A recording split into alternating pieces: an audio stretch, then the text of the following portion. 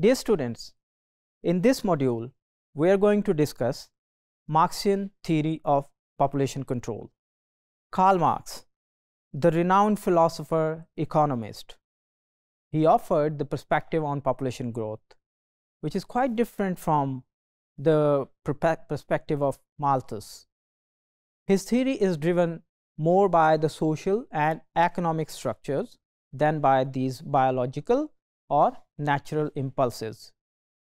So he criticized Malthus' theory, arguing that it blamed the poor rather than the poverty and the divert attention from the real causes of capitalism and class struggle. तो basically Karl Marx का की argument ये है कि population growth की जब हम बात करते हैं तो ज़रूरी नहीं है कि हम माल्थस के पॉइंट ऑफ़ व्यू से एग्री करते हुए इसको इस अंदाज से देखें जिस तरह से माल्थस का ये ख्याल था कि पापोलेशन जो है उसकी ग्रोथ उस अंदाज से एक्सपोनेंशियली uh, हाई हो रही है as compared to the available resource तो रिसोर्स जो हैं स्केरस होते जाएँगे जितनी ज़्यादा पॉपुलेशन होती जाएगी और फिर ये होगा कि पॉपुलेशन बॉम्ब की तरह एक्सप्लोड होगी और अल्टीमेटली जो है that would become a very dangerous situation in comparison to that Marx का ये ख्याल था कि असल में जो असल रीज़न है, असल कॉज है इस पॉपुलेशन ग्रोथ की, वो कोई ऐसा नेचुरल प्रोसेस नहीं है, बल्कि ये कैपिटलिस्ट सिस्टम के अंदर इनहेरेंट है। जिस तरह से कैपिटलिस्ट सिस्टम को जो है ज़्यादा से ज़्यादा चीप लेबर की ज़रूरत पड़ती है तो उसके लिए जो है एक रिज़र्व आर्मी ऑफ़ लेबर जो है वो कैपिटलिस्ट के लिए ज़्यादा बेनिफिशियल होती है तो लिहाजा कैपिटलिस्टिक सिस्टम जो है, वो इस तरह के आइडियाज़ और आइडियोलॉजीज़ को प्रमोट करते हैं कि जिसकी वजह से लोग जो हैं, उनका रुझान ज़्यादा बच्चे पैदा करने की तरफ़ होता है तो अल्टीमेटली मार्क्स जो है, वो कैपिटलिस्ट सिस्टम को इसका ज़िम्मेदार ठहराता है, ना कि एक नेचुरल प्रोसेस को so in Marx perspective population growth is not the cause of poverty or resource shortage. Instead, it's a social system, specifically capitalism, that leads to resource inequality.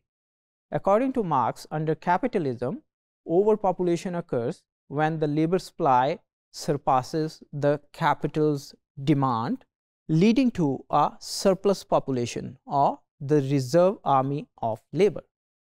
So, this reserve army keeps the wages low as there is always a ready pool of laborers willing to work for less. तो जितने ज़्यादा लोग होंगे उतनी ही possibility होगी कि आपको जो है वो चीप लेबर मैसर आ सकती है सो so, मार्क्स का ये ख्याल है कि कैपिटलिस्टिक सिस्टम के अंदर ये इनहेरेंट फ्लॉ मौजूद है जिसकी वजह से ऐसी पॉलिसीज़ को ऐसी आइडियोलॉजीज़ को प्रमोट किया जाता है ताकि लोग जो हैं वो ज़्यादा से ज़्यादा बच्चे पैदा करने की तरफ़ उनका रुझान हो और कैपिटलिस्ट को जो है वो चीप से चीप लेबर जो है मैसर आ सके। So he propose that the solution lies in a classless society where resource are equally distributed and the exploitation of proletariat ends तो चूँकि उसका सिस्टम मार्क्सिन सिस्टम जो है वो सजेस्ट uh, करता था कि एक क्लासलेस सोसाइटी हो क्लासलेस सोसाइटी के अंदर चूँकि लोगों के दरमियान जो पोटेंशल इनक्वालिटीज़ हैं, वो कम से कम होगी। लिहाजा उन आइडियोलॉजीज़ को प्रमोट करने का या उन आइडियोलॉजीज़ को ग्रो करने का मौका जो है, वो भी कम से कम मैसर आएगा और इस तरह से आप अपनी पॉपुलेशन को भी कंट्रोल कर पाएँगे।